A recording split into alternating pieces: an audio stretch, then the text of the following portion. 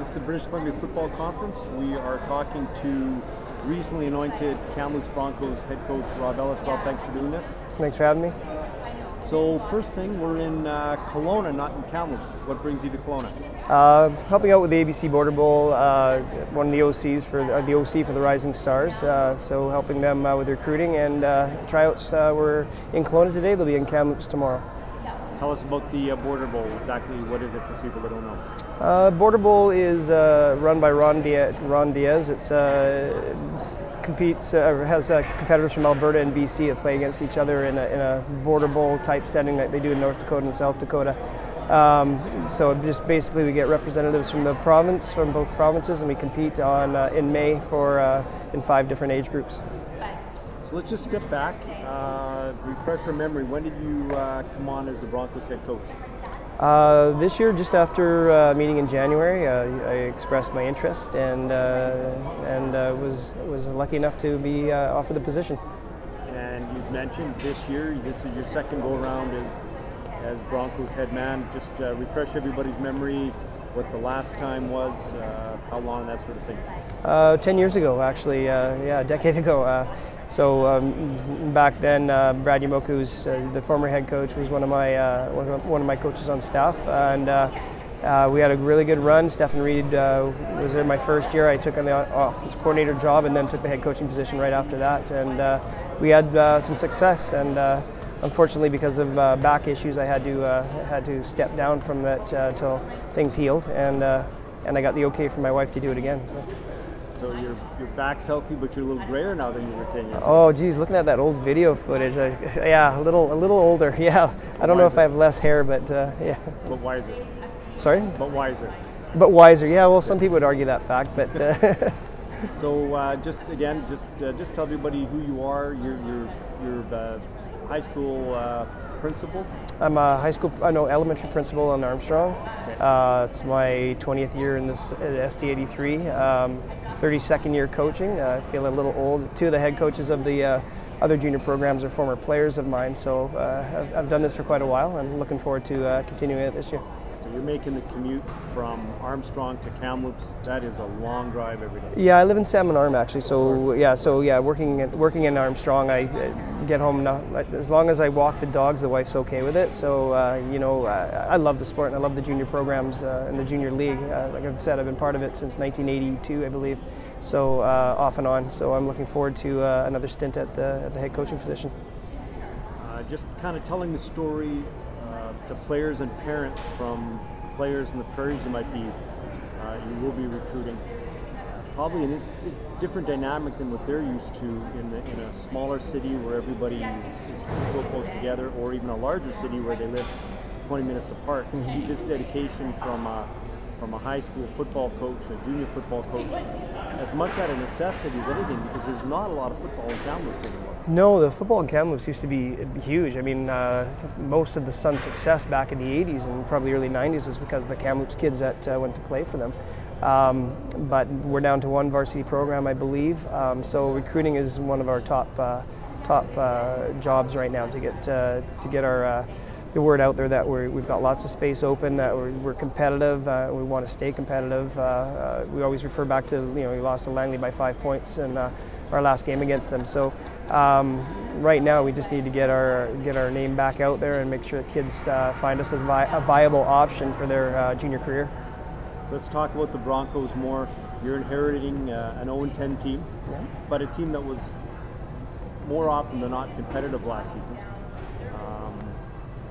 What, what, what is your goal this year? Is, it one of, yeah, I don't want to put words in your mouth, but just what are you hoping to accomplish? I think what we're trying to accomplish is stability in the program and, and some some success. I, mean, um, set our goals as smart goals so that we're not, you know, we're not going to win the, the, the, BCFC this year, but we do want to uh, stay competitive and we do want to win some games. And I think in order to do that, we need to keep our base the way it is. We're one of the youngest teams in, in, in the BCFC. Um, you know, I think we averaged 19 years of age, so keeping that core players uh, uh, in the program, making sure that we're bringing in uh, peripheral players to support them is probably our biggest thing. So uh, yeah, the viability of our program needs to be uh, needs to be out there. I was up at the uh, Broncos annual general meeting on Wednesday. We talked briefly about that the idea, not an idea, it's a fact that only one of the six teams in British Columbia is going to win a championship, and only one of the 18 or 19 teams across the country is going to win a championship. Right. So uh, I'm gathering you're going to be going after the type of player that wants to to build as a junior football player rather than maybe somebody that's looking to win a championship. Yeah, I mean, the one thing that we can offer that maybe the other programs can't be uh, is the ability to start right away or get significant playing time as an 18, 19 year old, um, just for the fact that uh, we're so young already. Um, so that's one great thing that we can offer kids. And the other two are you know, we have a huge trade school and we work hand in hand with TRU, right, to to offer those student athletes an education also. So um, uh, building that recruiting portfolio is number one on our on our list of things to do, and, and getting the people involved in that. We have uh, two people that that's what they're focusing on right now. Um, and that's already played dividends. We've already uh, had some interest from the, the, prairies and from back east. So, yeah. so you're, you're coaching uh, bit of a rebuilding junior football team, but uh, one area that you play second fiddle to no one is Hillside Stadium in Kamloops. Yeah.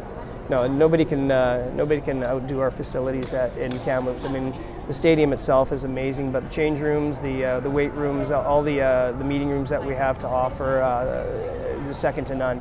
Um, I think every team in the uh, in the in the league would admit to uh, to that that uh, our facilities are pretty pretty spectacular. And if you've ever been to one of our games, uh, you know our night games uh, at the stadium, it, it, there's no better venue.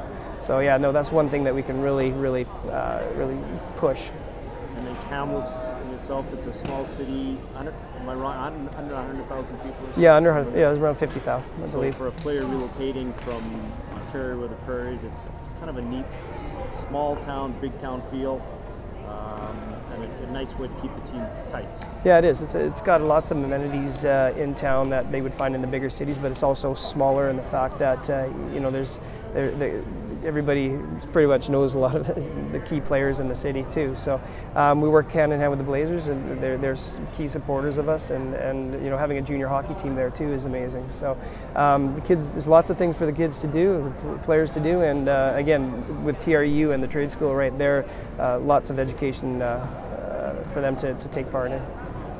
Now, let's talk a little bit about your coaching staff. Uh, who do you have on tap? what, what areas you're looking for? Uh, offense, offensively, we're great. We've got uh, Jeremy White returning as the OC, uh, and uh, we've got uh, a couple other coaches that are coming back. Uh, Brad Yamoka being one of them. That's going to be doing our running backs and our special teams. So, really, really happy with that. Um, and Joe Liberté is going to be our associate head coach, and he's going to also run the O line. Defensively, uh, we're still building that staff. Uh, so, you know, we've got four coaches already in place. We're looking at two more and uh, waiting to de designate a DC. So that's that's our key focus for coach recruiting right now. Really interesting to have Brad Yamoka back on staff. He was the former head coach. Um, Tell us about that. Brad's a, a Brad, very yeah. well-liked man. Yeah, Brad's a great guy. I've actually known Brad since 1996 when I coached him at UBC with Mark Norris. So it's uh, it's you know like I said, I'm getting long in the tooth when I when I have stories like that. Um, but Brad is key to, to getting you know players back. He's well liked amongst the coaches, and he's one of my best friends. So having him on staff is huge, and I think the the kids will be really excited once they hear that news too. He is. Uh, well known for having the ability to grow one of the quickest and best beards in the BCFC. Are you up to the task? Uh, you know, I have problem growing hair as it is, but uh, you know, I'll do anything it takes to uh, to make him happy, and make the you know, do what's what, what's best for the team. And growing a beard, uh, I'm already halfway there. So.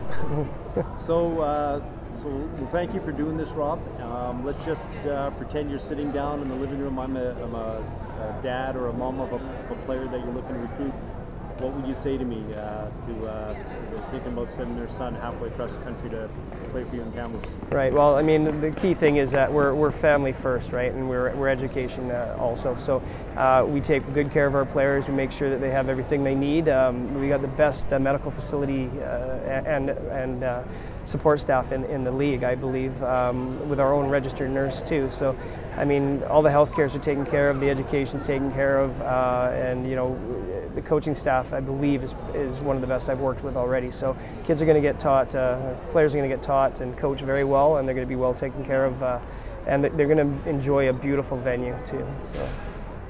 Thanks for doing this, coach, and uh, good luck. We're looking forward to seeing you this year. Thanks, Mike. Appreciate it.